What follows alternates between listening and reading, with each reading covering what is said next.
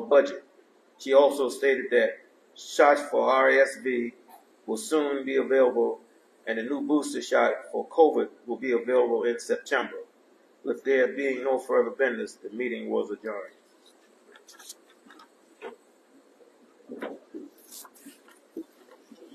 Yeah, Reverend Elder Sampson here too.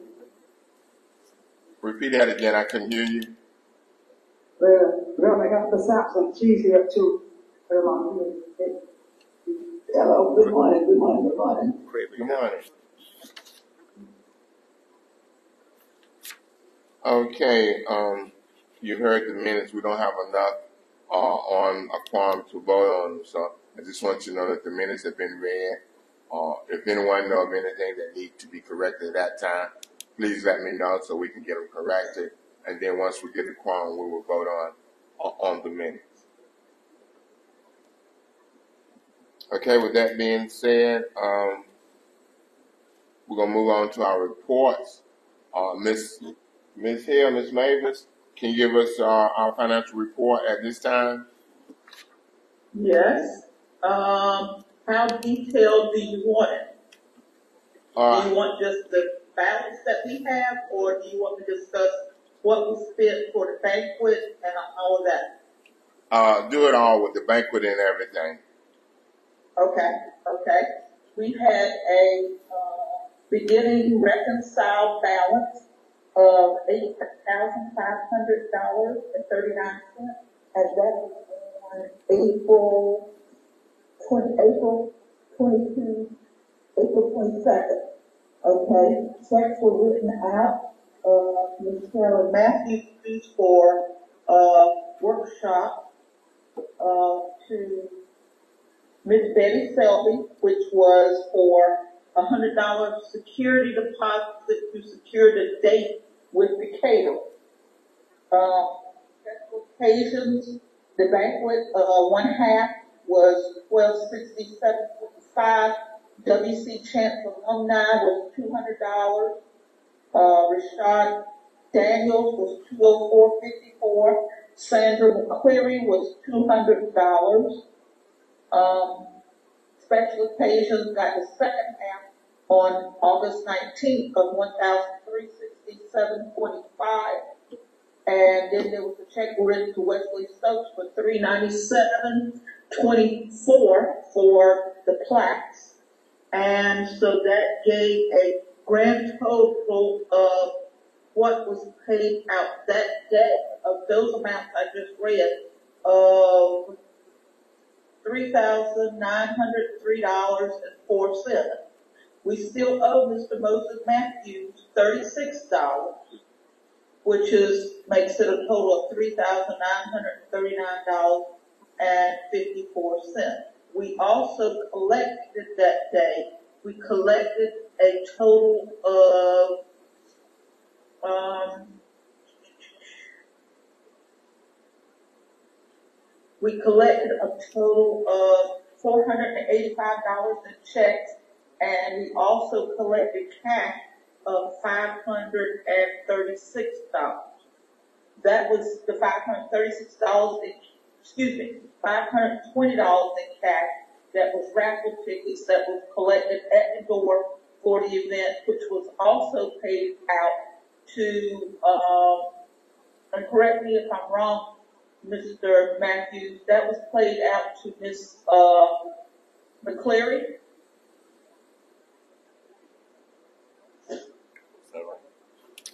So at the present, we have, there was also a check written to Mavis Hill that purchased a sympathy flower, Mr. Carl Bond, in the total of one oh seven ninety-six. And the ending balance as of today is six thousand two hundred fourteen dollars and twenty-one cents. And then we have to take out, uh, the thirty-six dollars that's paid to Mr. Matthews. So, um, that went to the query, it was supposed to be a total of six hundred and we were short. So once that, that's paid out to him, the balance in the bank will be six thousand one hundred seventy-eight dollars and twenty-one cent with two deposits totaling four eighty-five and eleven seventy-five. Um, the eleven seventy-five consisted of three hundred dollars in county due, five hundred and twenty-five dollars in checks for tickets, and three hundred fifty dollars cash in tickets. So, grand total, six thousand one seventy-eight twenty-one, once Mr.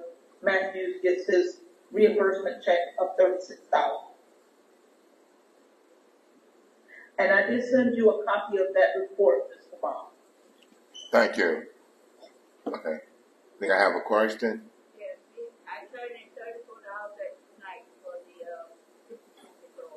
uh, Did you get the thirty-four dollars that, do have- yeah, Yes, I do have that. That actually, that actually went to a part of paid out, um, to Miss, uh, McCleary that we need to pay off for the setup and breakdown of the bank. So, yes, ma'am, I do have that note. we got that noted. So. Okay, are there And any hopefully more? by next meeting, everyone can get a copy and they can see, um, exactly what we paid out and how much cash was taken in. Okay, well, we'll do that at our next meeting. Um, we'll be sure that all members get a copy of the financial statement so you can see it in hand. Okay, are there any more questions about our financing at this point in time?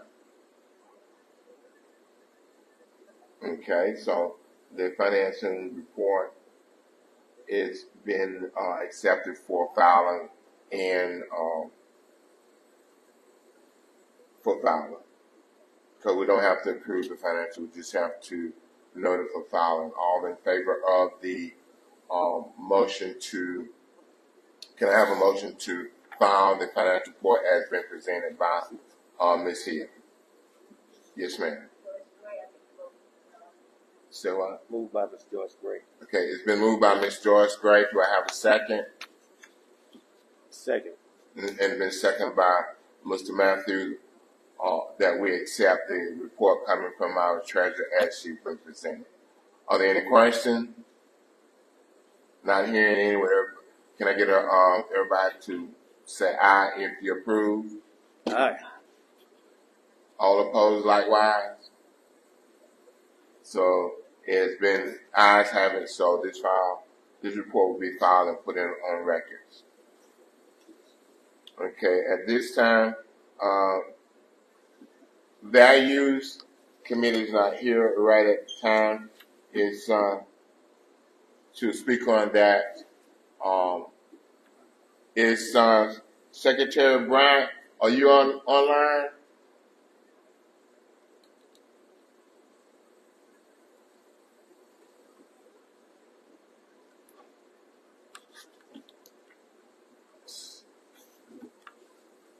Secretary Bryant?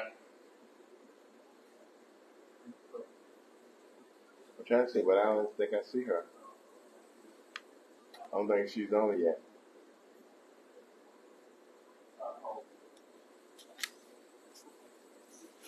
Okay, um, since I have Jeremy back, Jeremy, can you talk a little bit about the values that you and the committee have been discussing at this time?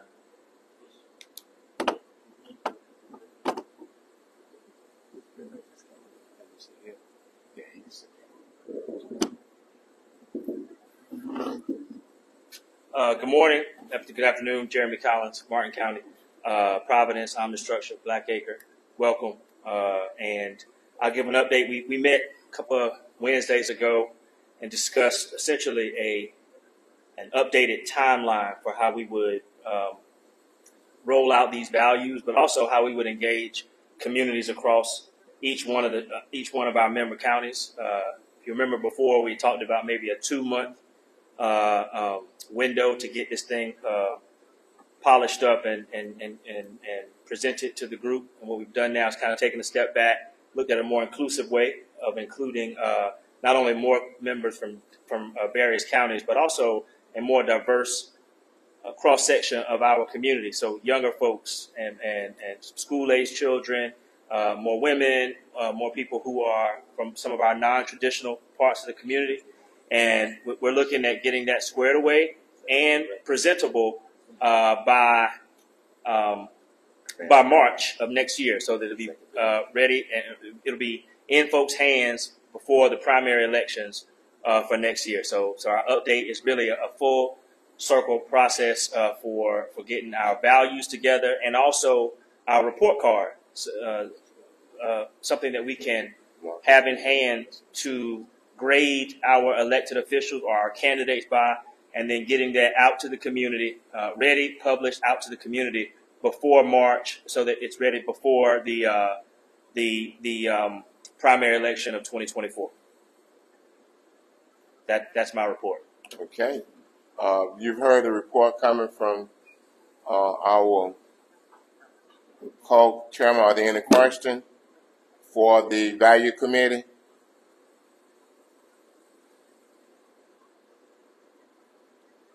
Okay. Seems like everybody is, is is on board with what you said, uh, Appreciate it. Thank you very much. Mr. Collins. Thank you for your report. At this time, at this time, I think we, uh, Mr. Marcus Bass from Atlantic Carolina, if you will come forward with your report, who is also the executive director. So, Mr. Bass, it's in your, in your hand at this time. And his, and his trainee. Yeah, a little training. Yeah. Uh, Good.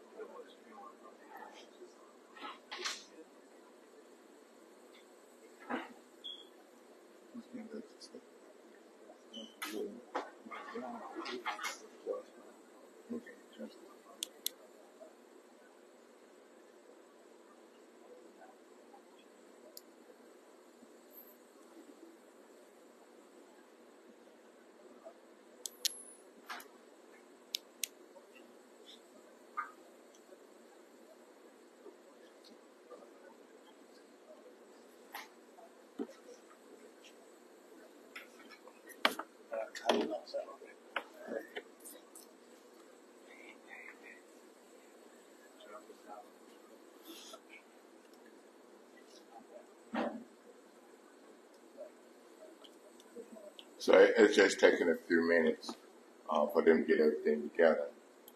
And so uh, we have the mayor of Williamston here, uh, Mayor Burns. If you would like to say anything while we waiting and welcome us to your to your city, uh, we would like to have that at this time. since you said the word welcome, I do welcome you to the city of Williamston. And the other thing I would have to say is I'm just glad to the number one more time. Thank you. Bless. We're all blessed. We only need seven for a quorum, right? Yeah.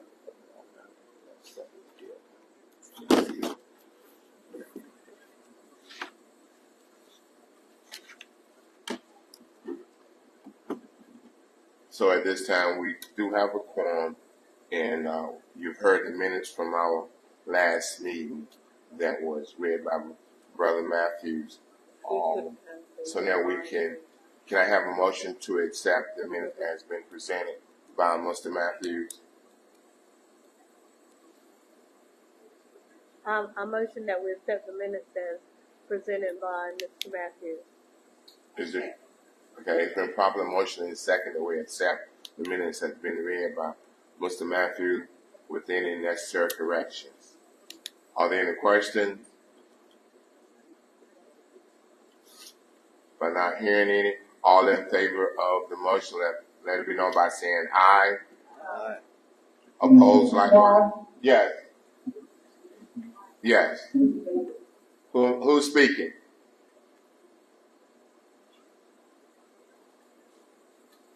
Okay. All opposed? Say no, nay. Ayes have it, so the minutes have been approved from our last meeting. Thank you all. Can I mind using that microphone, Mr. Chair? Or you want You want to sit there? I don't, I don't need to, I don't need to. Yeah, you can use them. You can use this mic. All right. I want to say good morning to everybody. I want to make sure I'm in the, the right, um, space for our You're gonna need to sit down technology, so I may and have. back up.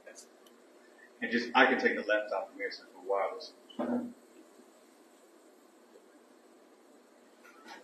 sit there.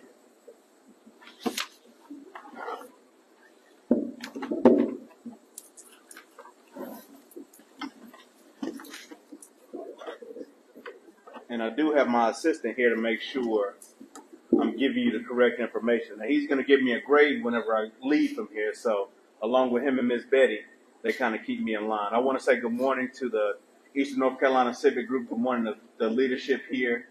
Uh, I'm excited to share with you uh, just a few updates uh, on behalf of the North Carolina Black Alliance in Advance Carolina. Um, for those of you that may not be familiar with me, my name is Marcus Bass. Uh, for a number of years, I've seen so many of you virtually uh, that it is a pleasure to be here in person. Um, I also want to greet your chair, uh, Chairman Stokes. I understand that he is not here today. He had another uh, event to attend, and I understand fully the power and importance of this convening.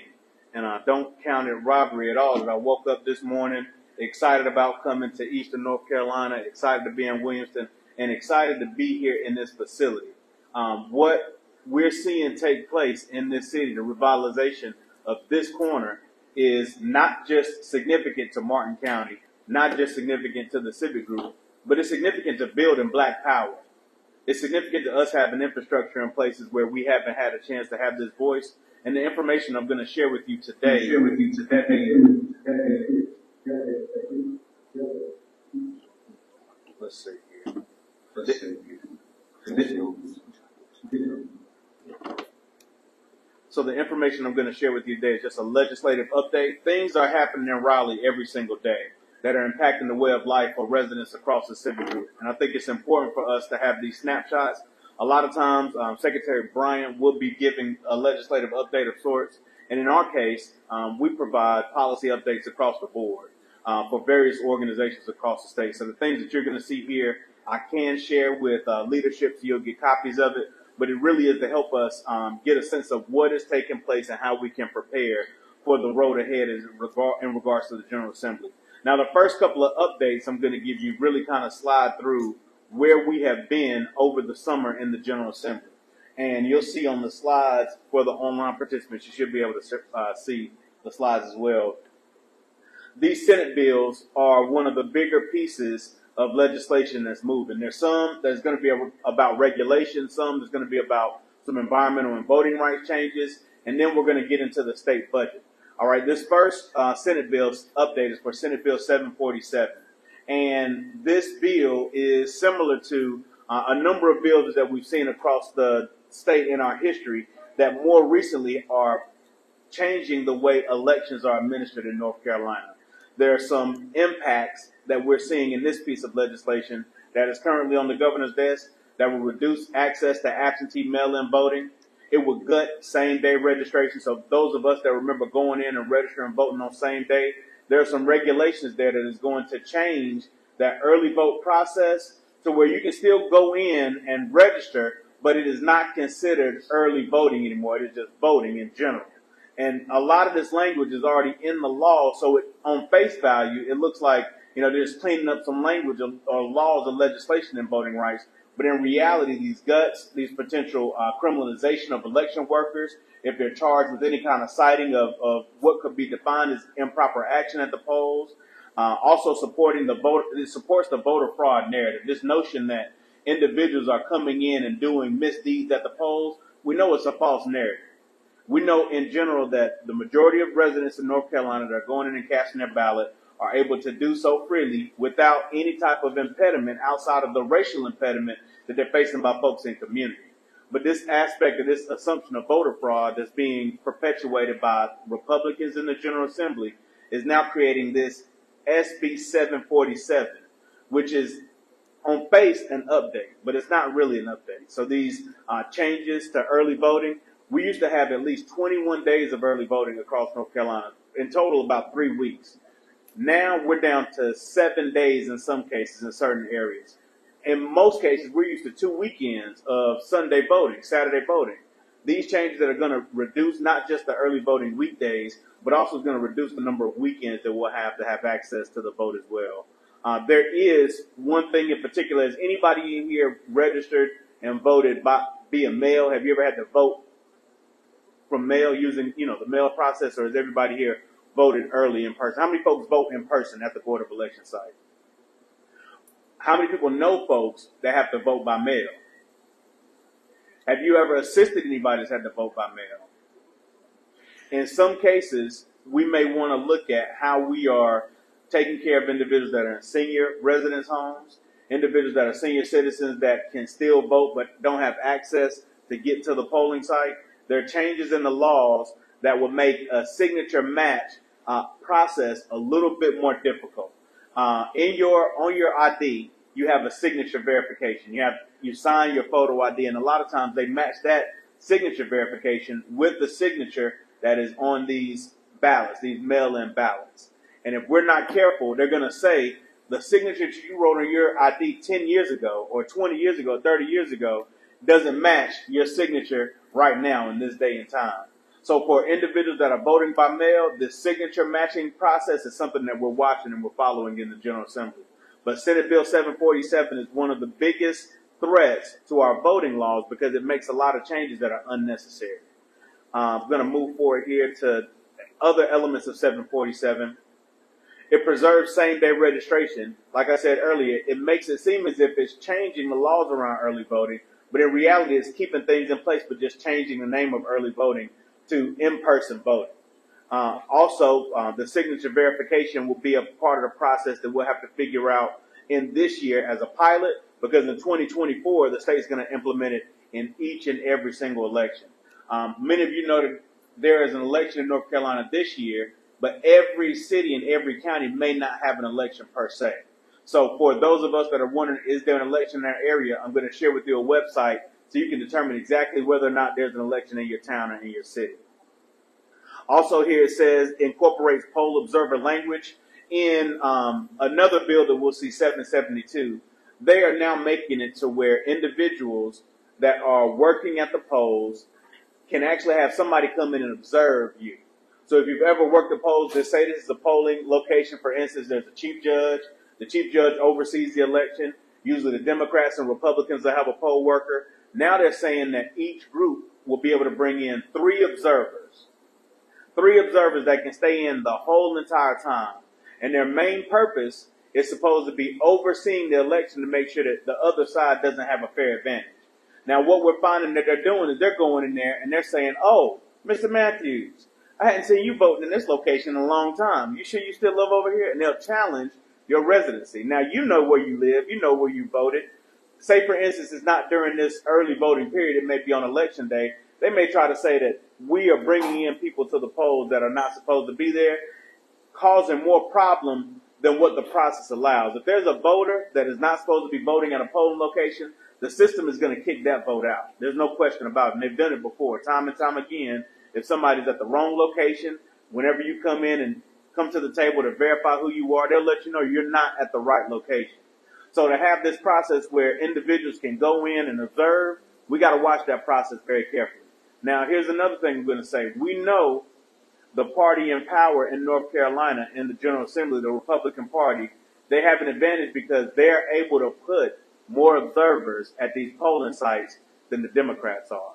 A lot of times when it's time to work the polls, it's hard enough to get people to stand outside and help support the effort, let alone go inside. And so we have to be very careful that even though the law is going to allow equal numbers from the same party to come in and, and observe, if we don't have the numbers, the black community, not Democrats or Republicans, if we don't have the numbers of folks inside the building, individuals that are not wanting to make sure we vote or trying to keep us from voting are going to try to pick us apart on the inside around that process. And so this uh, 747 is a bill that we're watching and tracking just to make sure that there's no impediments at the polls for individuals that may not be aware of the laws. Did I get cut off here on my on the um the, the let me see if my Wi-Fi the signal may not have, um, may have kicked me off the Zoom.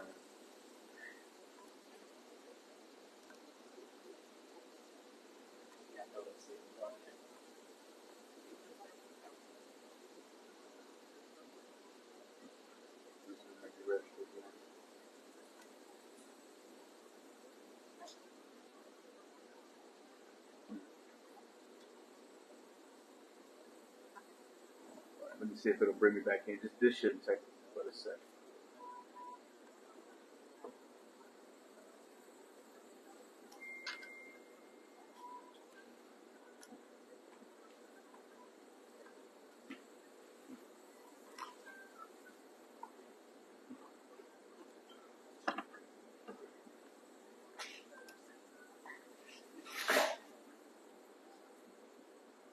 All right, so it should be letting me back in the zone, and I'm just gonna bring this presentation back up.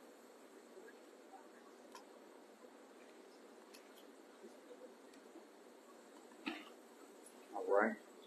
So moving from So moving from, moving moving from Senate Bill 747, we're going to go into the next update of the veto overrides. Now, because of a flip in the General Assembly, we had one individual named Tricia Cotham that folks remember at the beginning of the summer changed her party affiliation from Democrat to Republican.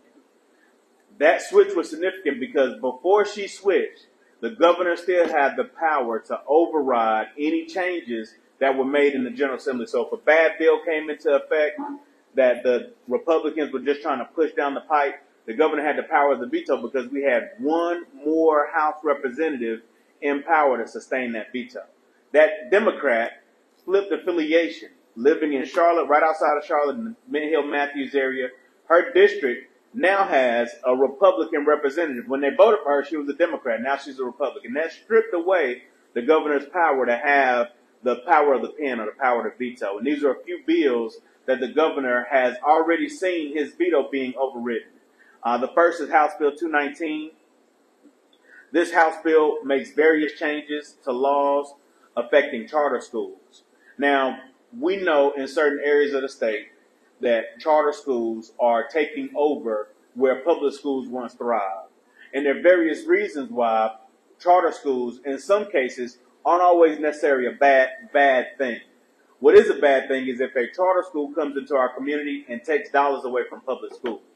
Uh, when we think about the number of uh, teachers, just in Wake County alone, where I just came from, there's over 600 teacher vacancies in the public schools.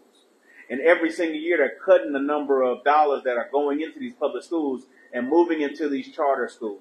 Now, how many people think that they are funding the private black charter schools at the same rate that they're funding the private white charter schools? They're not. As a matter of fact, a lot of you remember in the 60s when these schools started coming up, these Christian academies and these other areas, this is where they saw that everybody was going to be integrated in these public schools, so they made their own separate schools, and now they're trying to make the state pay for them. This bill, now that it is going into effect, it is going to loosen the regulations around charter schools. Right now, if a public school is underperforming, the state can come in and do things to make sure that school is performing right. They can provide more programs for them.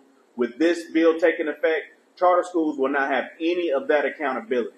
They'll get state dollars, but they won't have any of the same types of regulation as public schools. This bill also allows expansion without permission. Right now, there's only a certain number of charter schools that can be created in North Carolina each and every single year. If this bill takes effect, anybody can start a charter school without very little oversight. Now, it doesn't mean you can just step up tomorrow and open up a school, but it does loosen the regulations for how schools can be created. It will allow for preferential treatment to applicants. There was a time where anybody that applied to a charter school could attend a charter school. And that was one of the ways where they were able to get our dollars, our state tax dollars into those public schools. They would say, well, we're open for everybody. Now the rules are changing where the same little voucher that they would once say was able for any student to use to go into these schools, they're not going to accept the vouchers for every student. They're going to be able to deny certain students. Black students. Blacks, there we go, Miss Betty. Black students. House Bill 219 also talks about allowing for the admission of foreign exchange students and out of state students. Anytime you allow a student in from out of state or out of the country, they're competing for a seat that one of our students can have at these schools. and allow for funds to be shared from public school funding, sales tax, federal funding. So it opens the opportunity for these charter schools to take more money from our public schools. Again, I know some of our um, churches are having these charter schools. That's a horse of a different color when we're talking about these large preparatory academies and these larger schools across the state that are really segregated in every way, shape, or form that you can imagine. House Bill 618 also talks about charter schools. Um, this converts the Charter School Advisory Board into a Charter Schools Review Board. That shifts the authority of those schools from the state to this review board without any type of appeal from the State Board of Education. Right now, the State Board of Education has some oversight in these charter schools, but if they create this new Charter School Advisory Board or Charter School Review Board, we'll have two state boards, one for private schools and one for the, or one for these charter schools and one for public schools. And again, additional boards, additional funding, that's money that is, that, those are dollars that are being diverted from our public institutions. Senate Bill 49 establishes a Bill of Rights for parents regarding the children's education, health, privacy, and safety. I'm going to say this. The state of North Carolina and our founders knew that parents had a, a, very important job to be a parent. And they also knew that the role of a teacher is a little bit different. If you allow parents to interfere with each and every single thing that is happening in these classrooms, we would not see the equity that we see in public schools today. Imagine if we would have had a parents' bill of rights during uh, integration. The white parents would have done more than just have their students harass the black kids that were walking into these public schools. They would have kept them out at all costs. They would have told the teachers, "Don't teach the black kids in my in the classroom." This parent bill of rights seems to be a bill of rights that is pro-parents, but it really is another way for parents these same parents that I don't know if you remember last year were going into these school board meetings and talking about taking the masks off and going into these school board meetings talking about my kids shouldn't be reading these books. Now these parents have created a bill of rights that will give them ultimate control over what happens in those schools. Not only that, um, I'm, I'm going to tell it like this, and I know nobody in here did. There was a time period where if your parents put on something for you to wear that you didn't like, you would maybe pack your miniskirt in your bag or pack your shorts in your bag or something like that, take it to school. You know, your kind of the way to express yourself. You weren't trying to, you know, do anything out of the ordinary, but you wanted to be in your own character. Now, I know all of you probably wore exactly what you brought to school. You didn't change up at all, but there are levels of engagement that we have in our schools. A lot of times schools are safe places for some of these students that are in abusive home situations. Uh, there are safe havens for folks that don't have um, certain things that other children have. They can freely talk to their teachers about some of these circumstances. They are trying to make it seem as if the schools are safe havens, havens for students to be um, pulled into an alternative lifestyle, and that's not the case at all. We've looked in these schools, and there's nobody in here perpetuating to these students that you have to be anybody other than you than who you are but these same parents that are talking about these mask mandates and are talking about changing the curriculum, they're also making it seem as if public schools are making students gay. I'm gonna just call it like it is, Miss Betty. That's right. They're trying to make it seem as if these public schools are teaching our students how to have these alternative lifestyles, and that's what they're using to funnel in this parent bill of rights. Now, I'm not going to ask anybody about what anybody does when they leave out of the civic group meeting because it's not my business. But I do know how we all take care of our ch- children and provide for our children is up to the parents. That's right. When they're in school, there's a way that the school handles those situations, and there's a parent right to have a conversation about what's going on. But for the parent to come in and want to alter what's happening in that school system because they something they saw on Fox News, it's ridiculous. And so we need to cut that at the head before it even gets out there that they are trying to teach our students how to be gay or anything otherwise because those same that same ideology about why we can't have the students learn about alternative lifestyles is what they're going to say about race.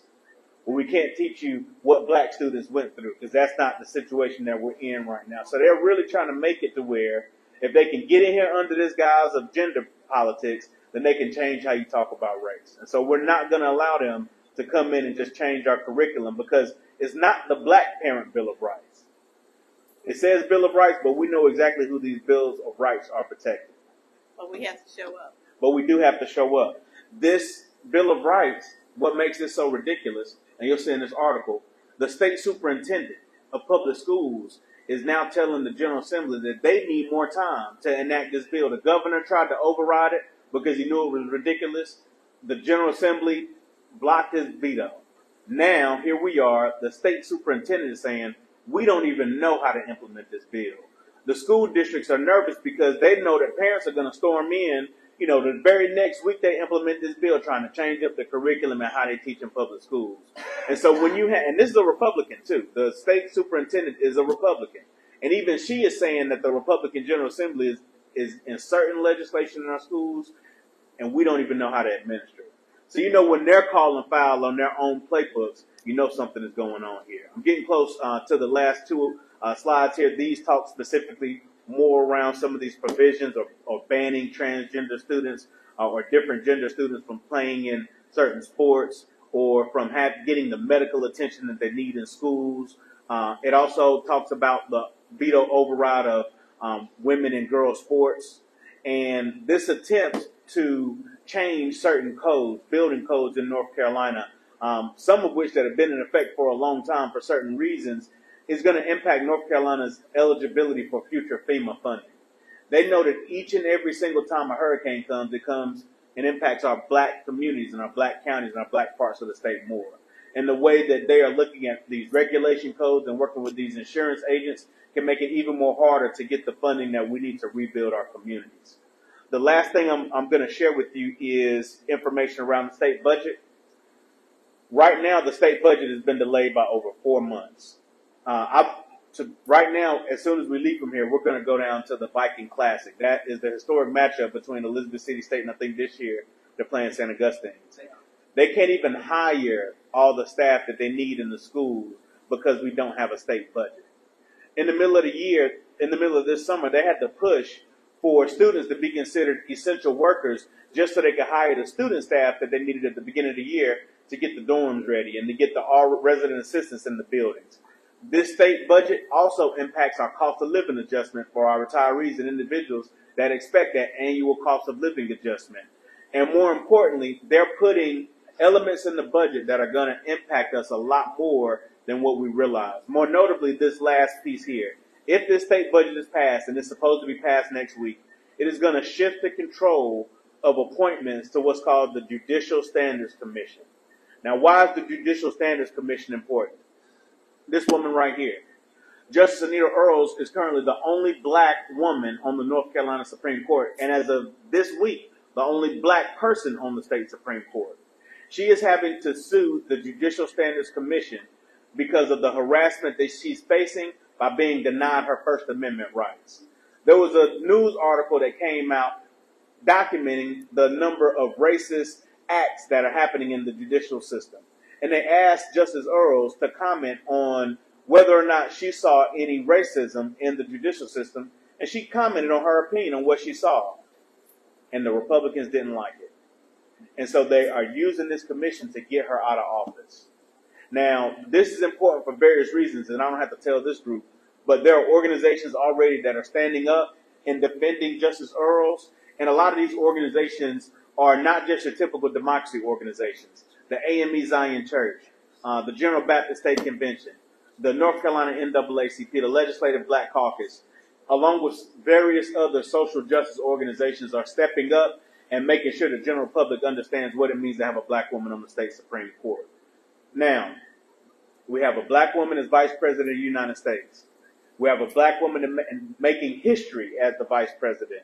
Uh, I see uh, Lamisha Whittington on the call. Uh, me and her had the pleasure about three years ago to meet Kamala Harris while she was campaigning right in Raleigh, North Carolina. Ketanji Brown Jackson, the first black woman Supreme Court justice. Our sister Fani Willis is holding the line after the January 6th hearings, making sure that the country democracy doesn't fall into shambles. And then we have Justice Anita Earls. These black women are on the front lines protecting our right to live and breathe and exist in this country, and it is our duty to make sure that we're stepping up and protecting them right now. We're not talking. That's right, Miss Bay. I mean, it's the truth. When you see the fact that we are still arguing about women's access to leadership in the church, women's access to leadership in education. The same individuals that are come in and vote for a Republican for governor are not just voting because they care about Republican issues. They have a problem with black women in leadership positions. But if it wasn't for black women in leadership positions, I don't even know if we would have an East North Carolina Civic Group. I'm gonna just be honest with you. So what we need to do is make sure everybody is not gonna have the chance to get this download and go through all these bills. They want to know why I need to vote. We got to vote to protect black women. They need to know what's at stake. Black women are at stake. Our education is at stake. Our reproductive justice is at stake. And I really am going to be dependent upon Miss Betty and this group of leaders to continue this fight. And we want to make sure that we stand committed. And I want to thank Mr. Matthews too. One of the slides that we haven't seen here that I think is very important is the work that we've done around trying to make sure the agricultural industry is expanding at a level in which it'll be fair for our residents.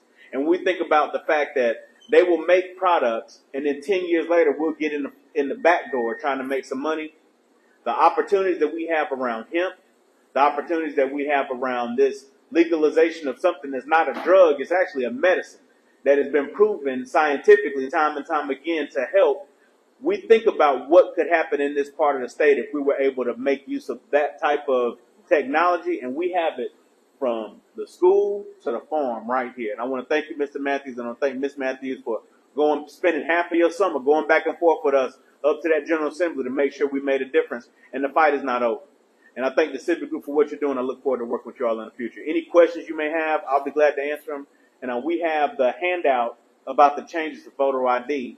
When voters go to the polls now, they're going to need to make sure they know about these changes um, because it's going to impact whether or not their vote counts. So I'll be glad to answer any questions and, and give this all to you on our way out. And thank you for dealing with my little sleepy little assistant right here. What what you, Mr. Hampton? yes, sir. explain, um, you, you mentioned charter school and then you mentioned private school. Um, What's the difference? This, uh, Dalton is getting ready to try to provide more money for private school. Uh, could you expand on that a little bit.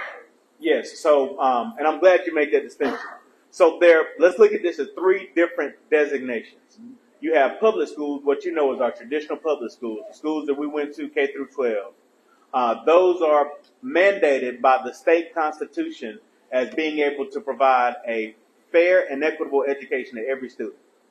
You, after your public schools, you have something that is called a charter school. Now, charter schools state that they are not public schools, but it doesn't mean that they're not open to the public. Some charter schools can operate just like a public school. The only difference is they're, they don't have to follow the rule of the LEA in that county. Every school county has a district LEA, the Board of Education.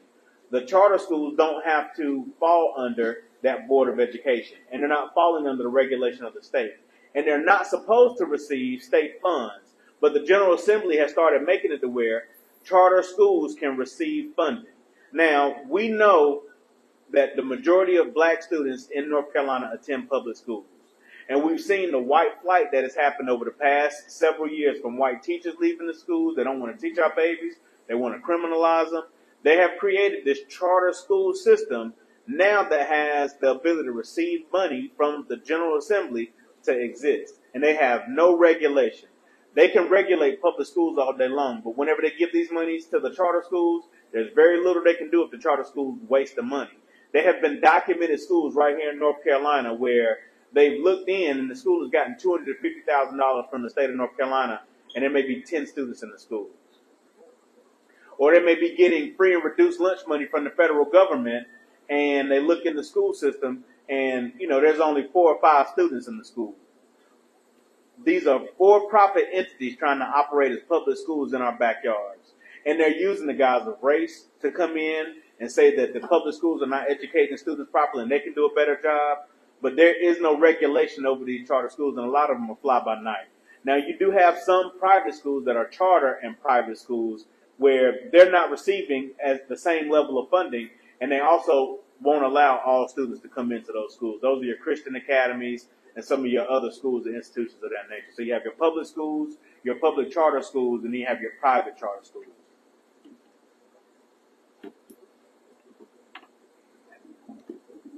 Okay, thank you. Mr. Bass for all that good information. Are there any more questions? Anyone on have a question for Mr. Bass?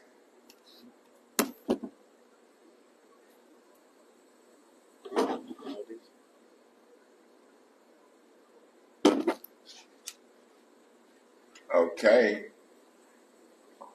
Thank you, Mr. Bass, for all that wonderful information. And we'll look to get the information from you uh, so we can distribute it among our members. And we're glad you're working with us, and we want to continue to work with you and Miss Betty uh, and Mr. Matthews so we can be sure that we represent the people from Eastern North Carolina in every way possible.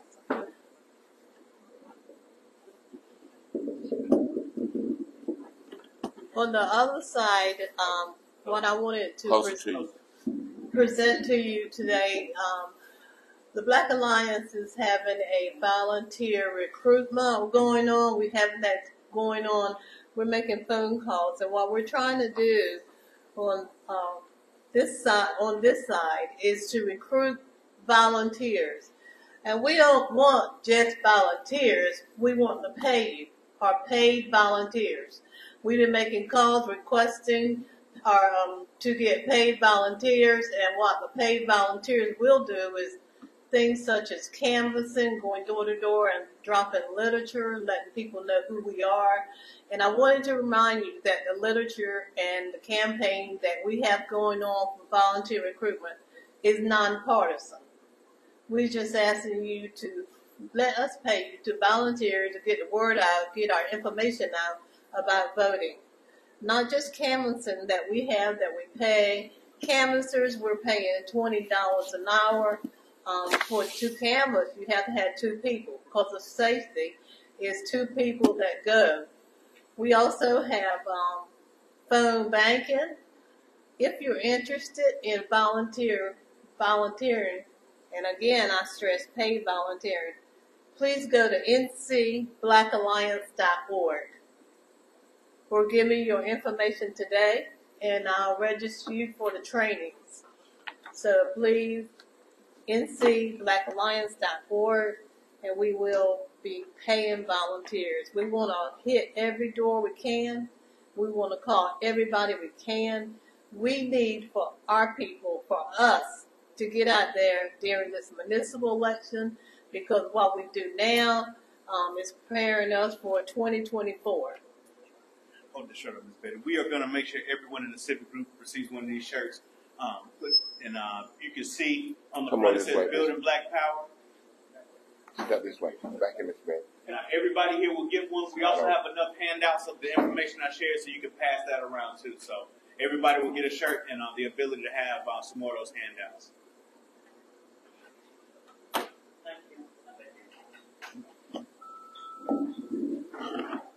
Thank you, Mr. Bass, for those, uh, for all that information. Thank you, Miss Betty.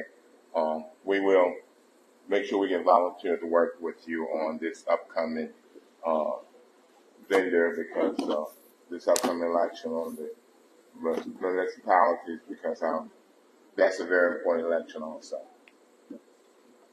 Okay, are there any more questions? If not, we're gonna move on to unfinished business. Oh, before I go, is Secretary Bryant, did she ever come on?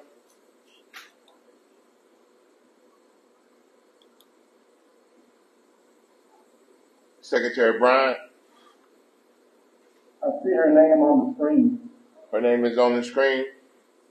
Okay, Secretary Bryant, it's your time to come and provide us with your updates.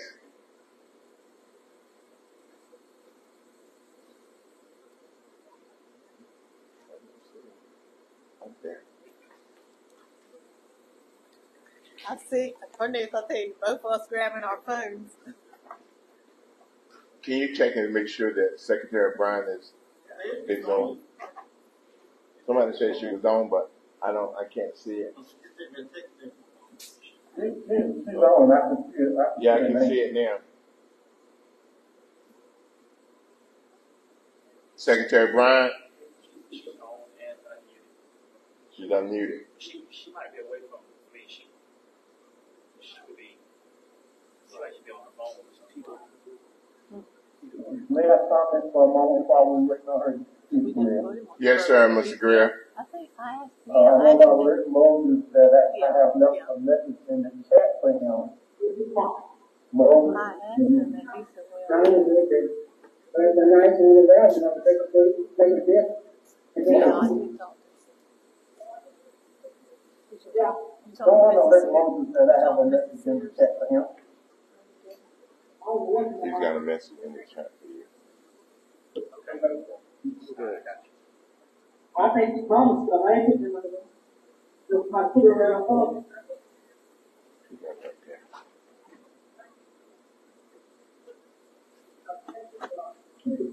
Will, hey, will you ask Miss, Miss Sampson to mute? Ask Miss Sampson to mute. Miss Sampson, will you please mute yourself? That ain't so much, I gotta other people.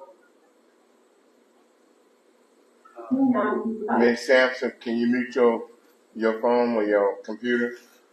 Yeah, so just have to ask you to call. Okay, I, I'll, give- I'll give you his number. Just let it know you see. Mr. Greer? Well, I, I was just alerting Moses that I have a message in the, uh, chat. Yeah, he's got that information. He'll give you a call. Okay. Secretary Bryant?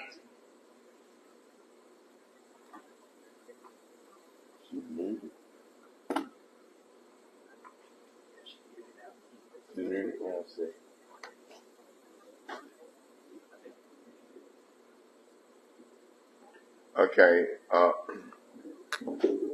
Secretary Bryant, since you all are away, we're gonna go ahead on to our next business. We'll come back to you.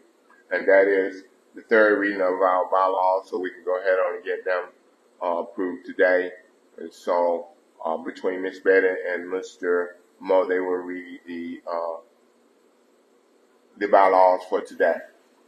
So, Mr. Mo, you can start at Ms. Betty. The whole bylaw. Get a whole bylaw. It's all right on that screen. Section one, name, the name of the organization shall be the Eastern North Carolina Civic Group. The Eastern North Carolina Civic Group hereinafter shall be referred to as the group, ENCCG, and the general body. Section two, address. The address of the organization shall be determined by the executive committee. Section three, function and purpose.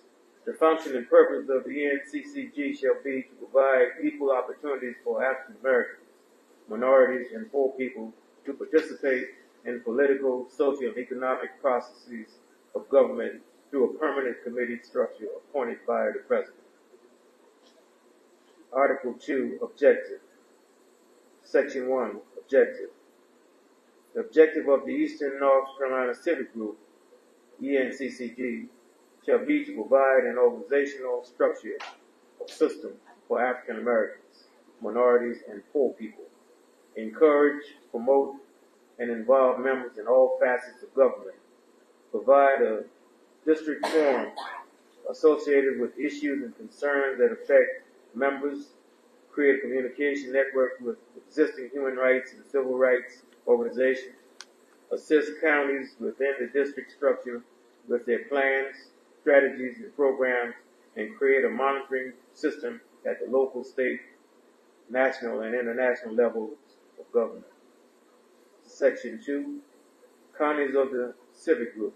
The following counties constitute the membership of the civic group. Beaufort, Bertie, Camden, Carteret, Chowan, Craven, Currituck, Dare, Edgecombe, Gates, Greene, Halifax, Hertford, Hyde, Lenoir, Martin, Northampton, Pamlico, Pasquotank, Perquimans, Pitt, Tyrrell, and Washington. Article 3, Meetings. Section 1, Place and Time. Regular meetings and special meetings of the members shall be called and held at such place and at such time as the executive committee shall authorize.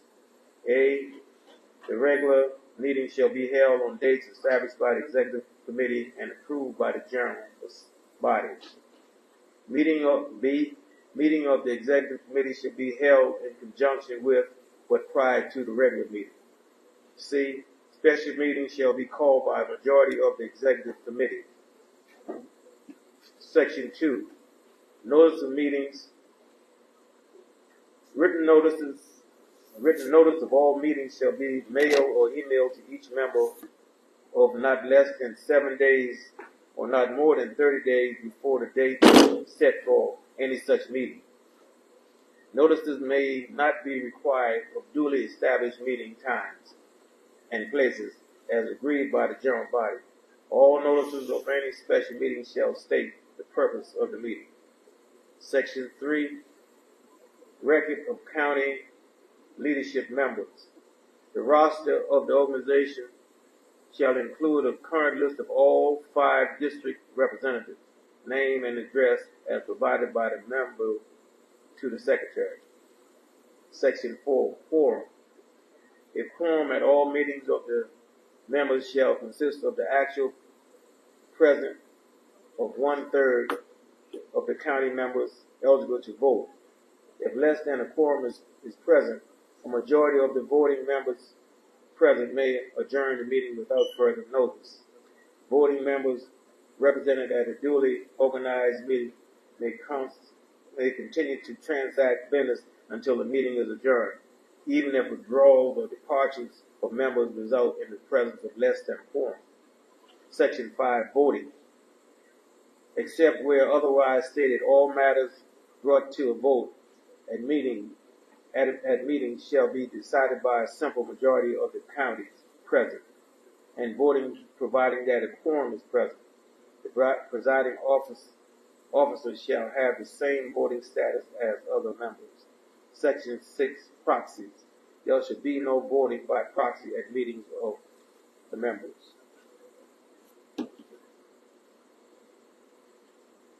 Section seven, members. Membership shall be limited to those persons who support and participate in the goals, objectives, and ideals of the organization. County membership will be achieved by paying an assessment of $100 annually. A full paid county will be accessed one vote in matters before the body. A $10 membership fee is available to persons whose county does not pay the $100 assessment fee individual members will be entitled to one tenth of a vote on matters that come before the body. The county or individuals individual assessment fee shall be paid by April one of each year.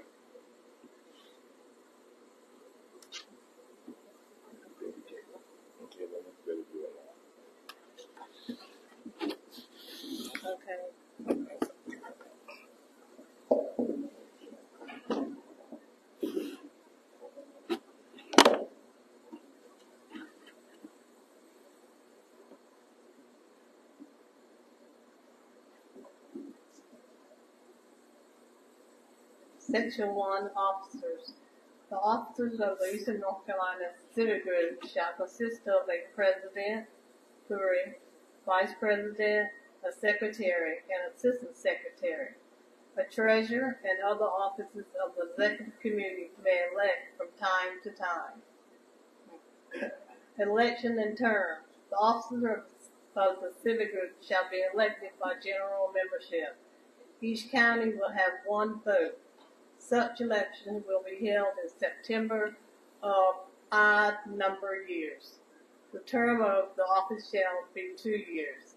Each officer shall be eligible to hold for two consecutive years, two consecutive terms. Therefore, the officer cannot serve until the completion of one vacant term. President, the president, president shall be the chief executive officer of the civic group. The president shall supervise and control the management of the civic group in accordance with these bylaws. The president shall preside at meetings of members and act as the chairman of the executive committee. The president shall sign with other officers any instruments on behalf of the civic group as may be required or permitted by law. In general, the president shall perform all duties that are incident to the office and other duties as defined by the executive committee. Between meetings of the general body, the president is authorized to exercise general executive authority on behalf of the Eastern North Carolina Civic Group. Subject ratification by the executive committee and/or the general body. The president is to perform such other functions and exercise such as duties as may be voted from time to time by the general body or the executive committee. The president is authorized to appoint commit chairpersons subject to approval of the general bodies or the executive board.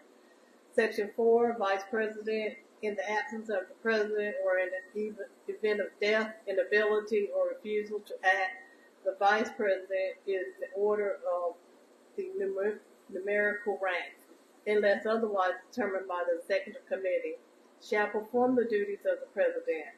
When so acting, the vice president shall have all the powers of and be subject to all the restrictions of the president. Any vice president shall perform other duties as assigned by the president and the executive committee. Secretary, the secretary shall keep accurate records of the proceedings of all meetings. The secretary shall say, shall maintain a listing of all standing committees, the officers and members of the of the committees and the mission statement shall be in charge of the committee. The secretary shall give notice of all meetings as required by these bylaws. The secretary shall turn over all records and other proceedings by spring movement. All, all to the assistant secretary upon resignation, inability or refusing to act and upon any other vacancy. The secretary will accomplish other duties as assigned by the president and the executive board. Assistant secretary. In the absence of the secretary or in the event of death, inability, or refusing to act, the assistant secretary will perform all duties of the secretary. When so acting, the assistant sec- secretary shall have the powers of and be subject to all the restrictions of the secretary. The assistant secretary shall perform other duties assigned by the president and executive board. Treasurer shall have custody of all funds and securities belonging to the Eastern North Carolina Civic Group, receive deposits, and disperse the same under the direction of the executive committee. The treasurer shall keep full and accurate accounts of the finances of the civic group. The treasurer will provide reports to the civic group every two months. The financial records will be available for review by the executive committee upon request.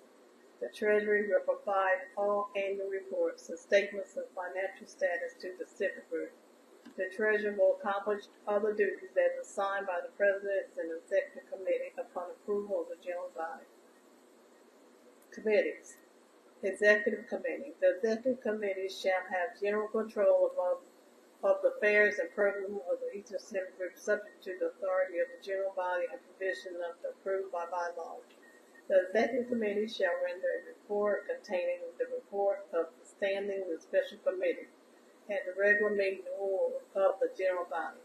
The executive committee shall act as directed by the general body. The executive committee shall be empowered to act in the absence of the general body. The executive committee shall report all actions to the body at the next regular meeting or special call meeting as it occurs. The executive committee shall compose of the duly elected officers of the Eastern Civic Standing Committee. There are five standing committees of the Eastern Carolina, Eastern North Carolina Group. The Committee of the Bylaws, the Election Committee, Nominating and Operating procedures. This committee is in charge of the duties and responsibilities of reporting on all changes to the bylaws and such amendments to the general body with such sufficient notice given no less than thirty days prior to the changing of the bylaws. Likewise, committee in charge with giving notice of any changes in the operating procedures of the gen- body. The, the committee is also in charge of creating rules and regulations of all nominations of persons for the various offices of Eastern Civic Group. During odd number of years, this committee is in charge with creating a slate of officers for election at least ninety days prior to the September election date as set in other provisions in these bylaws. The committee shall have other such duty as deemed necessary by the general committee. Committee of Economic Development, the Committee of Economic Development shall implement local efforts and support programs to preserve and expand economic empowerment among the black and brown minority citizens of eastern North Carolina. The committee shall engage in other duties, functions, and responsibility as necessary to implement economic development to this district. The Committee of Finance, the committee shall plan and conduct fundraising activities, budgets, and financial operations to the general body. These the committee shall have such other duties, function, and responsibility approved by general body. The Committee on Political Action, the Committee on Political Action is in charge of creating methods to increase participation of black and brown minority citizens in the electoral process and in government operations at the local, state, and national level. The Committee in, so, in Social Welfare. The committee shall implement social actions and social welfare policy and procedures of the general body. The committee shall have other duties and responsibility approved by the general body. Ad hoc committees. Ad hoc committees shall be appointed to research, review, and report on matters of concern of the civic group. person of the ad hoc committee shall be appointed and serve at the pleasure of the president. Regional organization, section one. Regions of the civic group. The counties of the civic group are divided into the following. Northwest region, five counties. Bertie, Halifax, Hertford, Northampton. Northeast regions, six. That was the northwest. North, northeast region, six counties. Camden, Chowan, Currituck, Gates, Pasquotank, Plymouth. Central East region, four counties, Dare, Hyde, Tyrrell, and Washington. Central West region, four counties, Beaufort, Edgecombe, Greene, and Pitt. Southern region, four counties, Carteret, Craven, Lenoir, and Pamlico. By bylaws, by bylaws may be amended by a two-thirds vote of the general body. All proposed amendments to the general body shall be presented at least thirty days prior to duly called meeting and regularly provided. Therefore, duly and proper prior notice be given. Upon a motion, these are the bylaws approved, approval. Upon a motion made by the chair of the bylaw committee, the Eastern North Carolina Civic Group duly adopts and approves these bylaws. Uh, is it ready for approval? Yes. I want to look at, did we change a lot um, language where we said, um, black people, we, I had a, I'm trying to look for it.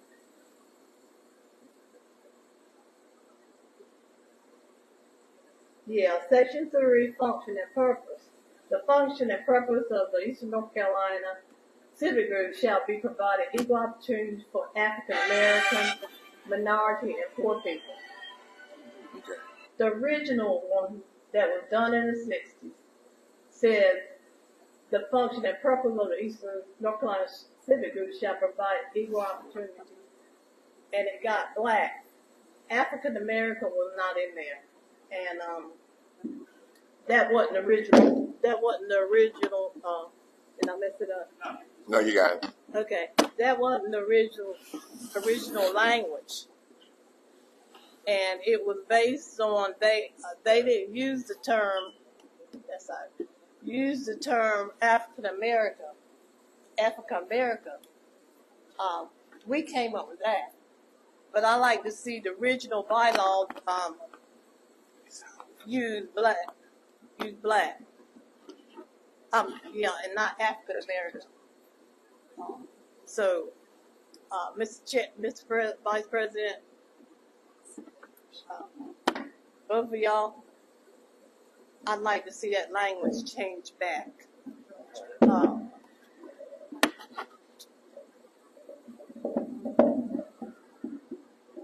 So I understand you correctly. You want to change the wording from African America back to black.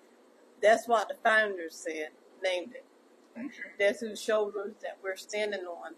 Um, I know we changed something, I think that's key and I think that's important. In the sixties, they didn't say African American, they said black. And so, uh, if I'm understanding you right, we need to take this back to the committee and let them make the necessary change before we vote on it, or do they need to get together and discuss it? Um, whatever pleasure is. Mr. Matthews, what's your thought about changing African America back to black? Or anybody else? discussion. Discussion. Add that, um, since we are in twenty twenty-three and we are standing on the shoulders of the founders and out of utmost respect, I think it should be black slash African American. Because you still have some people acknowledging black, and then you do have people acknowledging African American. So just to show that we are respecting our founders, but also I guess, the future, uh, how we have progressed in other languages we use. I think that would be in order as well. Or should be something considered. Okay. That. When you advance it to, to modern day, um, it's, it's really people of color. Okay.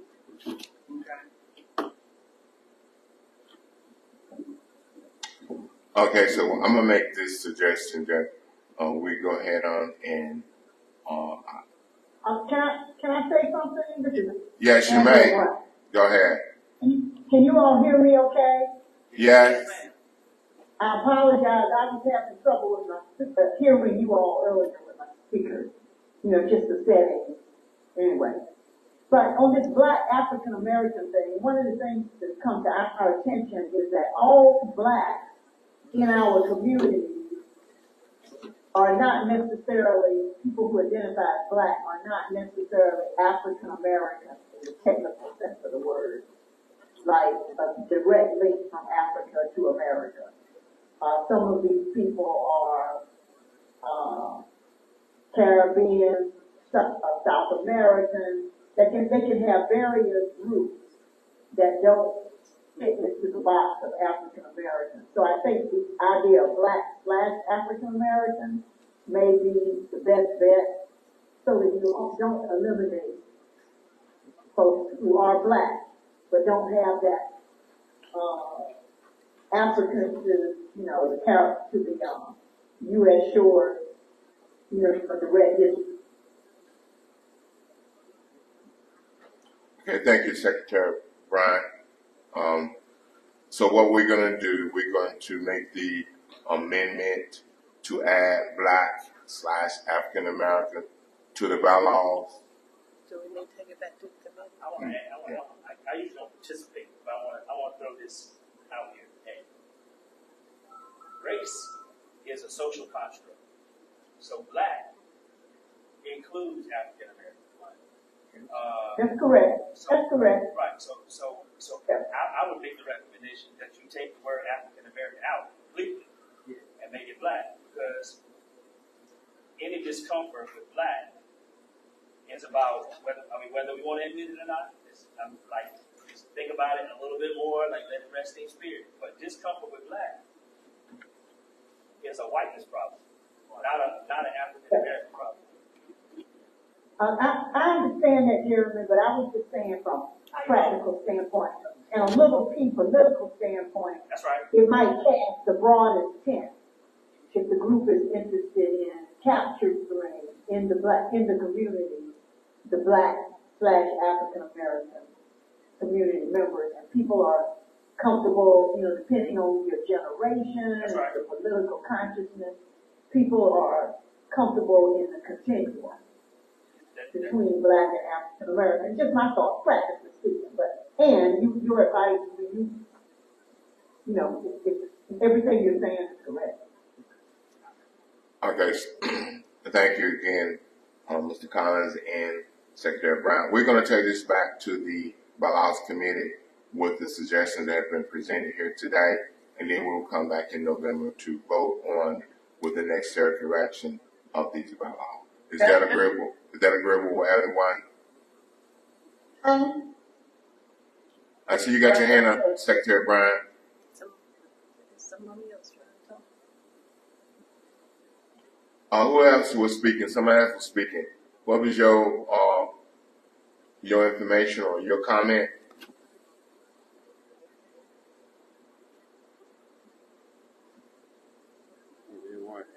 Okay, so, I have a question.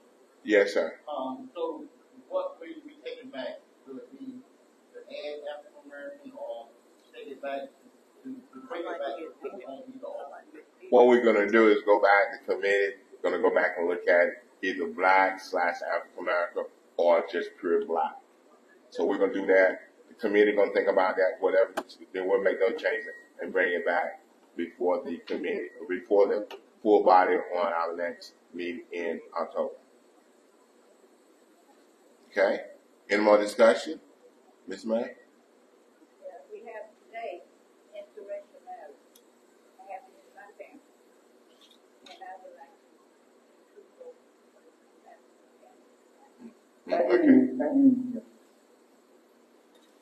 Okay. Okay, so we, I got one more thing. yes, sir. I thought it was based on the founders. I understand who people are.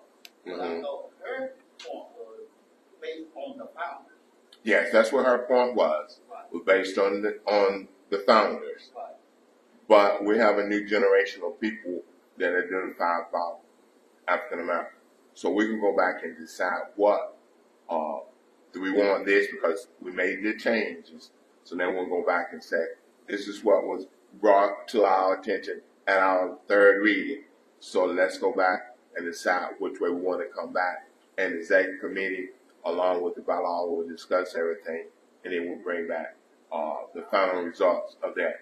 I understand, but I want it to be based on the founders, not Yeah. just what's going on today. Right. Make We it understand that. Uh, we understand that. Because I got a problem. Mm. people are identified as black, or we, black Okay. in the face.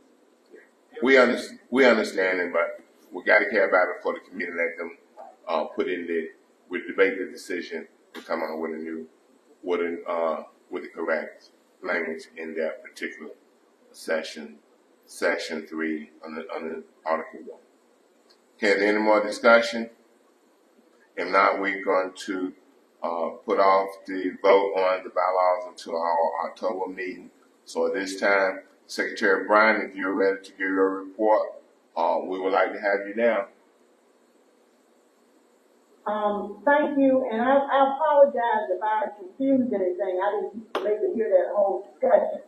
And it's important for you to know that lots of groups are having this conversation, you know, about, uh, um, black African American people of color, BIPOC. I mean, there's a whole list, and, and there are pros and cons to everything, and, um, uh, so, uh, just continue, you know, the issue is the purpose, and you can always state what your history is, and what your focus is, and then have a statement about additional language that would maybe, you know, be inclusive of others or something, but so much on that subject. Uh, my update on, uh, health and human services, my name is Angela Bryant, if there's anyone new who is attending, or there's somebody who is attending, anybody new on the call, I am assistant secretary for the health equity portfolio at North Carolina DHS. And we have a couple of things I think that are important this week. The first is to let you know, uh, to to just give you an update on Medicaid expansion and to let you know that we thought we were gonna have a start date, a budget by September first and a start date of October first. As you know, if you're following the news, we don't have that budget yet. We think, we're thinking we will get the first look at that budget next week. By the time it goes through the processes, it may, we will be lucky if it gets ratified by the end of the month. That depends on if the governor signs it, doesn't sign it, vetoes it, you know, all of what happens, uh, in that process. So just keep your eyes peeled for that. But whenever it gets ratified, whenever the final action is had on the budget, um, then from that date, we can start officially, uh, the countdown toward Medicaid expansion. And it takes us a certain amount of time from that date, official date, legally to launch. and open Medicaid roll to the new expansion population. Um, it's looking like that might be December first, if we're lucky bunch of, you know, dominoes fall into place, it may be November first. We aren't really giving a date, I'm just telling you all this, we're saying, are now at the point where we need to wait for this budget to see what may be possible. I think I reviewed with you all previously about Medicaid expansion is covering adults from nineteen to sixty-four, uh, hundred and thirty-eight percent of poverty, so that moving up the, um, uh, income level where it was, where an individual would be, have, have to make eight thousand dollars as a maximum to be considered, now it will move up to nineteen or, you know, nineteen thousand, almost maybe twenty thousand dollars for an individual, thirty-four some thousand dollars for a couple, and then, um, forty some thousand dollars for parents and a child, or one parent, for two people, parent and child, and a couple, and then, um, for three people, um, you know, up to forty thousand, et cetera. And I can get that information, email out to you all. Um, I, I, I, I, think I did show slides last time, I didn't wanna, um, uh, review that same information this time, but I can get that information out for you all. There will be ways to sign up, um, uh, on, online, as well as in your local DSS office, as well as in your local libraries and other community locations for signing up. We also will have what is called enrollment ambassadors. So I will get vetted information to reach out to you to find out if any of your organizations you want to train people to be enrollment ambassadors. And, and, uh, there may be some foundation funding or something available for enrollment ambassadors. We aren't clear as to whether we'll have any direct state for, um, enrollment ambassadors. Uh, that at a certain point, and it takes so many days, our Medicaid expansion will be on the Affordable Care Act, uh, site. So when we get on the Federal Care Act site, then it brings all of the structure of the Affordable Care Act, uh, to bear on our Medicaid expansion population. And we will, um, and they will have all kinds of ways of outreaching and providing, and helping people understand where you can get insurance from the expansion to the Affordable Care Act, uh, for you.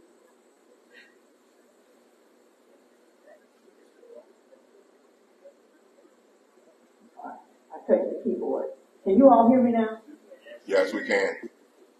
Okay, there are three populations to be aware of. Uh, One population is there are people already on what's called family planning Medicaid, three hundred some thousand people that will automatically be switched to Medicaid expansion. So they'll be switched automatically. It'll just happen in the computer on day one. So there are three hundred thousand people that will get full coverage versus the family planning services.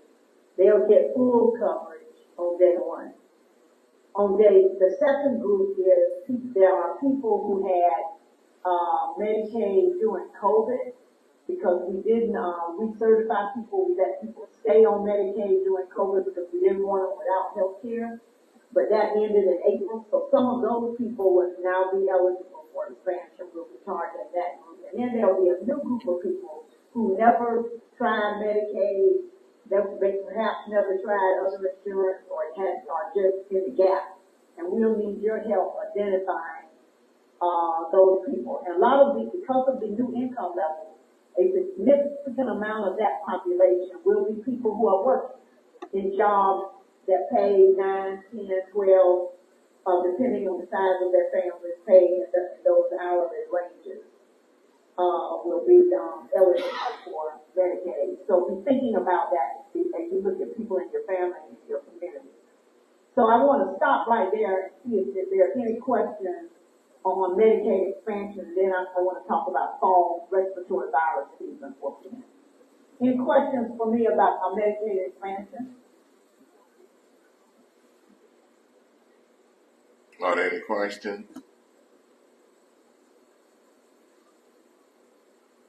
We don't have any, uh, Secretary Brown, you can continue. Okay. Thank you. The next thing we are emphasizing right at this time is asking everyone to get prepared for fall respiratory virus, uh, virus season. As you know, um, we have had increases in our COVID-19 measurements or tracking over the recent, uh, week. And that was expected to be happening as we move into fall, uh, uh, respiratory virus season.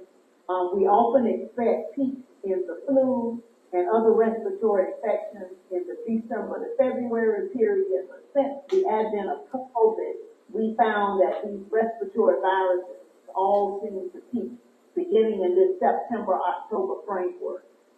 Um, the good news is we now, uh, contrary to where we were even, say, a year ago, we have, we now have two up-to-date tools in place to address all of these, um, fall respiratory viruses. So the first thing is we're encouraging you to do several things. Uh, first of all, to make sure your COVID vaccines are up to date. Next week, a new COVID, updated COVID vaccine is going to be, uh, announced. Uh, and we think it will be available to all age groups, but we won't know that for sure until it gets announced to see what the recommendations are. And so we recommend, um, people get up-to-date COVID boosters, especially if you are in the at-risk categories of older, chronic diseases, uh, uh, immunocompromised uh, conditions, working with the people, uh, living with people in those at-risk, at, um, in those at-risk areas, we surely recommend you, uh, getting an updated vaccine. If you've never gotten a vaccine, somebody, somebody asked me last month, you, you will start with this updated booster, uh, vaccine. The other thing to know about vaccines is they are now commercialized, commercialized. During COVID, the government distributed the vaccine. But now these vaccines are commercialized and are on the private market. So they, you will get COVID vaccines now like you get every other vaccine. Most people, you can get them at the pharmacy, you can get them at your doctor's office, you can get them at the health department, uh, or you can get them at community health centers. Uh, but we will not be having mass vaccine, uh, events like we had during COVID when the government controlled the supply of the vaccine. We'll have a limited supply of vaccines for bridge programs where there are uninsured folks, for example, who are not getting access, we'll be trying to track access as best we can, but we won't control vaccines uh, like we were used to during COVID. So you're gonna have to use the regular mechanism, the regular, um, uh, sources of, uh, your vaccines and healthcare to get these, um, COVID vaccines. Now, Of course, you can always let us know at DHHS if you're having trouble, uh, uh, and we will have, uh, vaccine finders information on our website. We already have it on how to get, uh, up-to-date COVID vaccines, and we'll get the new vaccine information. We're expecting to have that next week. And we'll be emailing your group, you know, working through vetting to make sure we get emails to you about the latest information. We, we're asking people to go on and get their seasonal flu vaccine now in September or October. Um, everybody six months and older should get a flu vaccine every year that is rec- recommended, again, especially people at high risk. There is this new vaccine now available for something called RSV, which is respiratory syncytial virus. And, uh, we recommend that people talk sixty years and older and infants are the focus groups for this, vi- uh, at risk for this virus. Talk to your doctor about whether this vaccine might be good for you and then, uh, follow your doctor's instructions. In addition to the vaccines, we are recommending the following. That, um, that you be prepared to test yourself and seek treatment if you get symptoms or you are around somebody with symptoms. Have a ready supply of COVID-19 tests that's in your home and know how to use those tests so you can test yourself and your family members and get treatment if you test positive. There are treatments available for both COVID, uh, infection and the flu that can, uh, reduce your risk of hospitalization and death.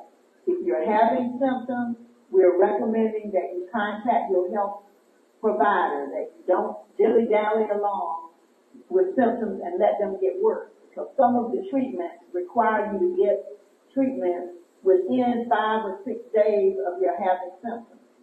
So you are seven at different, for different, uh, treatments. So you wanna, uh, reach out to your, um, healthcare provider if you're having symptoms. And there are also medications that can be, uh, prescribed to treat flu-like illness. We don't recommend that you let yourself get, uh, seriously ill from, uh, these respiratory viruses or flu-like symptoms, especially if you are, have asthma, diabetes, heart disease, pregnancy, or other, uh, uh, serious chronic illnesses.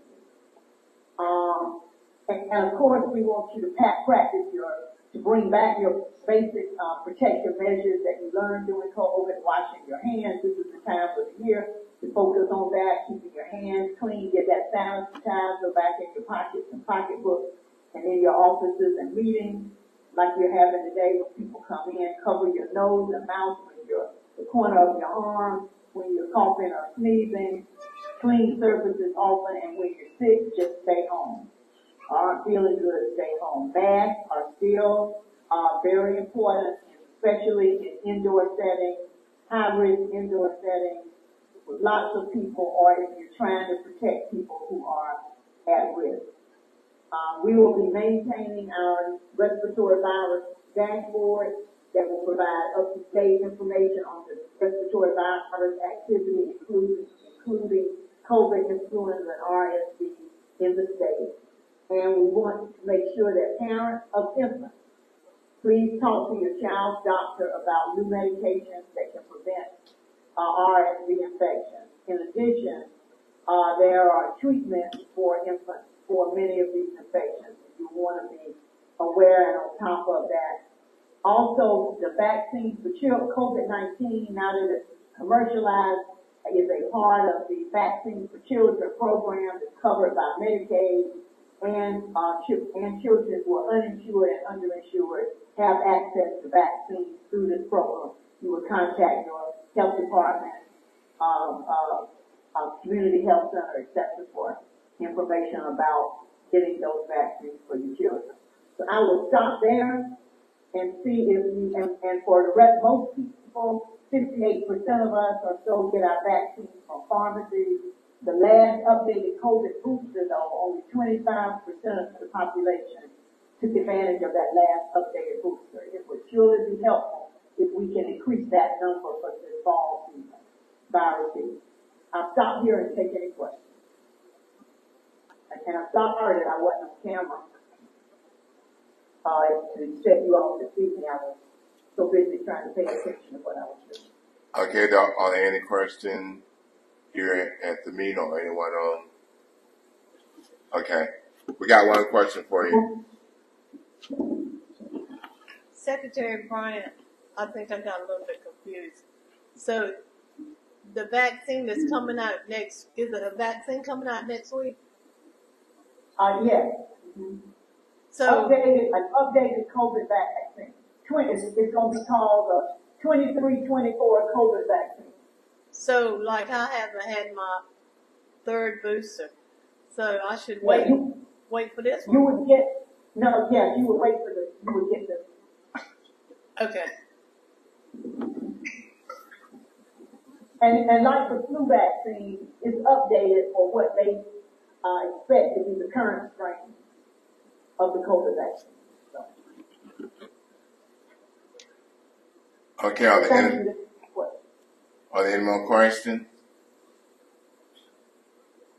Yes, Miss Sim, Miss Barbara Sampson? Yes, Father, uh, yes, I, I know, I know that they were saying that, um, COVID and stuff was, um, a new strain was coming back and stuff, but, uh, at the health department, so they're gonna be giving out, uh, masks and gloves or anything like that, you know, and sanitizer stuff to protect yourself. Uh, we aren't distributing that through the, uh, DHHS as I know at this time. Sometimes that comes, you know, up, and I don't know it until I get the information, in which I'll let you know. But I would say that would be by health department. Each health department would have their, have to have their own plan for that, and some departments probably have, uh, those, that equipment on hand from the, from the pandemic period. But we aren't giving out at state level, anymore. All right, thank you. Yeah, we did have a limited amount of tests available for organizations to receive, and that's on our website. Now, I don't know if any of those tests are still available or not, but we did have some free tests recently. And you had to fill out a form online. Oh, okay, all right, thank you. You know, I know I'm just checking, asking for some other people that I know that they might need some. Yeah, but gloves and sanitizer and all of that is important, you're right. All right, We won't have that, we won't have that like we did during COVID, for sure. You know, during the pandemic period. Uh, the, what, what they call the health emergency, the public health emergency. But I would say check with your local health department and other community health organizations. You know, we had a series, a, a whole, um, array of sixty-some community-based organizations that we funded during the COVID pandemic. Called Healthier Together. So check with them. Uh, they should, they probably have supplies on hand, I think in the northeast, ABC two out of Halifax County, Chester Williams, and their organization was one of those groups. Uh, they might, they, I'm sure they could direct you. And the, um, Community Health Access East, which is, uh, one of the, uh, uh, Healthy Opportunity Network leads, uh, the Medicaid, either one of those organizations should be able to connect you to protective equipment as well as, uh, tests, as well as tests. Okay, thank you. Okay, are there any more questions for Secretary Bryant? If not, thank you, Secretary Brown, for all that important information that you provided for us today. And we want you to continue to be with us in all our meetings to give us the updates. Again, I say thank you. I will continue. I want to thank Curmilus Dancy, who is my, uh, uh, civic group whisperer, and keeps me on the, on the case. So thank you, Camilla. The, the other thing I want to ask is, are you all getting emails from my office? I just want to know if I'm, if we're being effective in sending out those emails. Yes, we get your email. Okay. Yes, we get them. Thank you. And thank Okay, you. uh, let me know if you need anything. Thank you so much. Uh, We will. And thank you again for all your important information. Okay, um, at this time, we have come almost down to the end of our, uh, business that we gotta take care of. It's no more old business. The new business will be, um, Justice Anita Earls support. Uh, we gotta, gotta request that the civic group support, uh, Justice Earl on what's going on with her, to stand with her at this time while everybody else is trying to knock her down. Uh, so I'm asking the, the civic group today Make a motion that we support to, yeah. I want a motion, you made a motion? Made a motion. It's been motion, been proper motion and second that we support Second. Justice uh, Anita Earl on her whatever her issue that she had with the uh, Justice Department. So we're going to write a letter. The president going to write a letter to send and support her on her journey and be sure she remains in office. Uh, are there any questions? Yes, sir. If I may, Mr. Vice Chair, I think the, the, another good step after is to encourage all the members in the civic group, from your church or whatever organization you have, to follow the civic group's lead. Whenever the letter comes out, making sure that you, we can share it with our other organizations, so they can either endorse the statement or make their own statement. But this is gonna be a powerful move whenever the body makes a statement. Okay, we will do that. Any more discussion? All in favor of the motion, let it be known by saying aye. Those opposed likewise. The ayes have it, so we will be writing a letter to support Justice Anita Earls. Uh, this time I see that brothers, that our president, Mr. Wesley Stokes is on. Mr. Stokes, do you have anything you want to say at this time?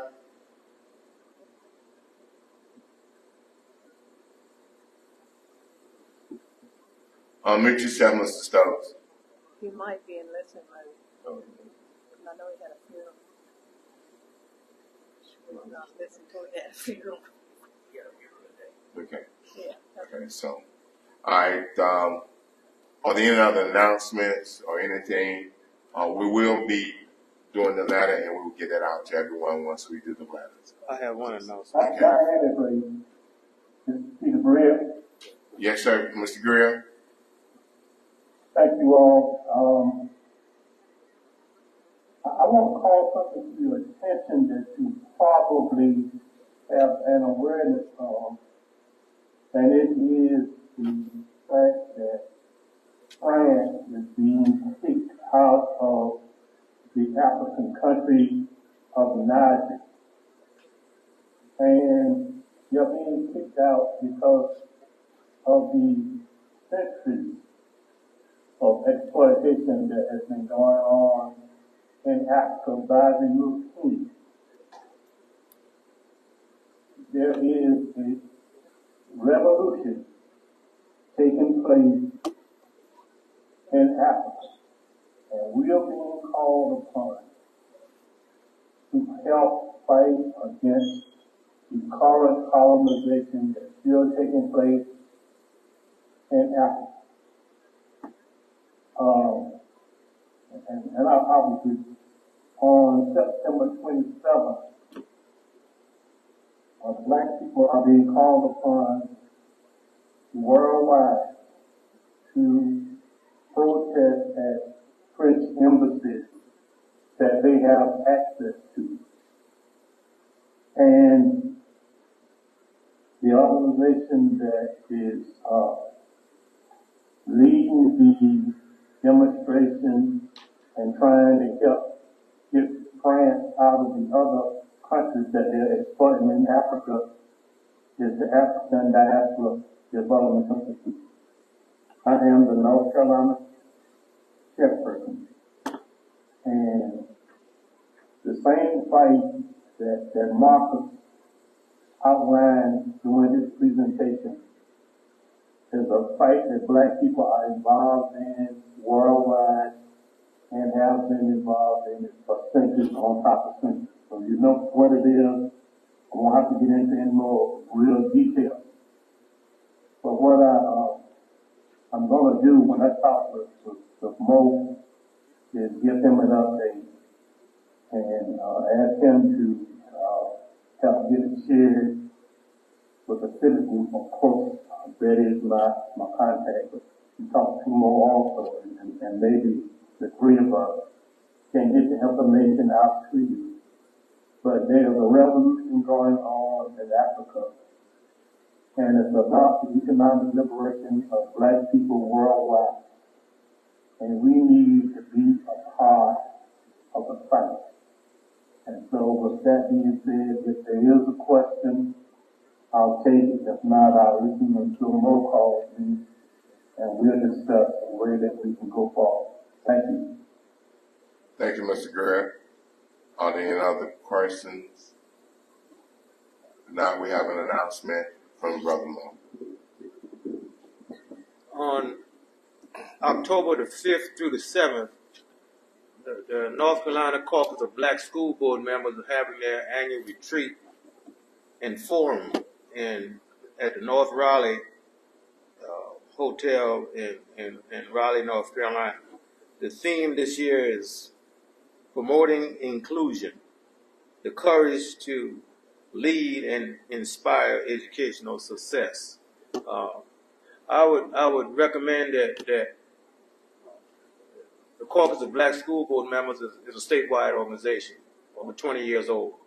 Um, I, I would I would ask that that that folks um,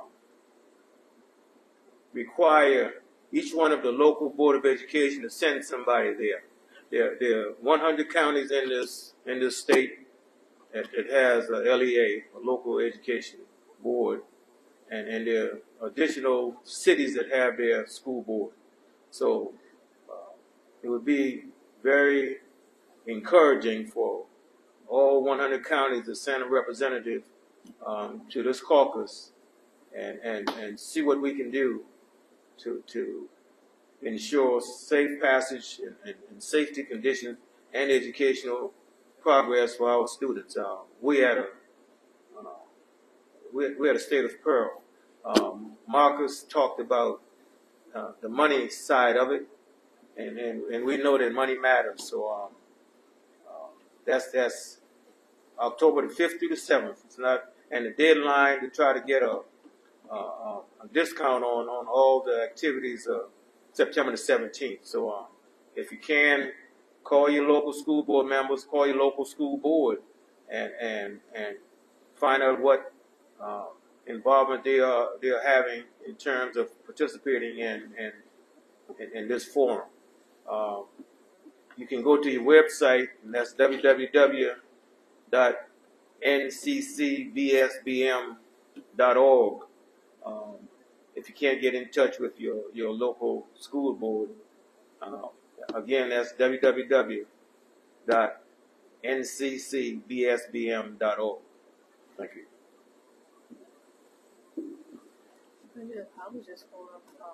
Um. Real quickly, I wanted to let you know that next month we will be meeting in Elizabeth City. Um, Mayor uh, Rivers have not gave us a location, but we will be meeting there. Um, Jeremy, thank you so much. Sorry for the communication. Uh, in November, we plan to meet in Craven County, so I'm letting you know. October, 14th. City, October 14th, Elizabeth City, and then in November. November, we're not sure about the date because we're running into what is it? Is it Veterans Day? Yes. So that's on our second Saturday. And I'll close or give it to uh, him with don't forget if you would like to be a paid volunteer with the Black Alliance, please go to ncblackalliance.org. We need your help. And that's what I'm saying. It's a paid volunteer. We want to get out and get in the communities, and we could use your help. Uh, thank you, everybody. Um, the last announcement I have is that uh, we want to keep Brother Sears in our prayers. Uh, he was one of the founders, or he worked with us at Dillington. He's been under the weather. He's still in the hospital in Elizabeth City. So let's pray for him that he get better so he can come home. Uh, that's Mr. James Sears. Uh, if you don't have his number, I understand that he can be, you can reach my phone. If not, you can't go visit him uh, at this time. Uh, with that being said, uh, Brother Stokes, Mr. Stokes, do you have anything you want to say before we adjourn the meeting or anything else from anyone else on the line or here?